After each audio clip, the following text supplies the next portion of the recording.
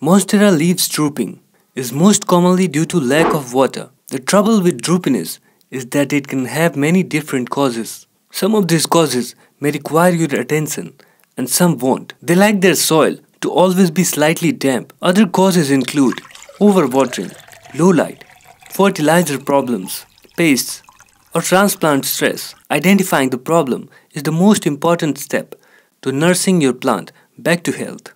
Underwatering or overwatering. If the soil feels wet a week or more after you last watered, your plant may be overwatered. Underwatering can also cause droopiness. Luckily, this is easier to diagnose and fix than overwatering. If you're watering more than once a week, you are probably watering too much. The more likely issue is that the pot and soil are not draining well enough. If your soil isn't draining for whatever reason, you will want to repot your plant into a pot with drainage and a light potting mix that drains well but holds a little moisture. If your monstera is underwatered, the solution is easy. Give it a drink.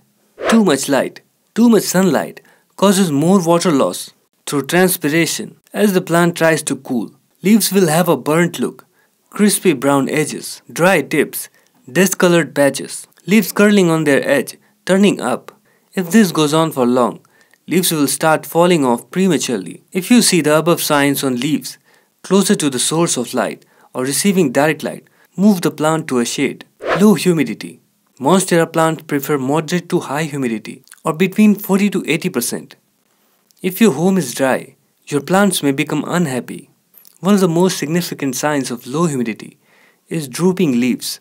Cold temperatures. If temperatures dip below 65 degree Fahrenheit, Monstera plants may begin to pout. Therefore, aim to keep the air temperature between 65 to 85. Even if your house is warm, your plant may still suffer due to cold drafts. Ensure your monstera is located away from exterior doors, poorly insulated windows, air conditioning vents, and any other source of cold drafts. Hope you like the information.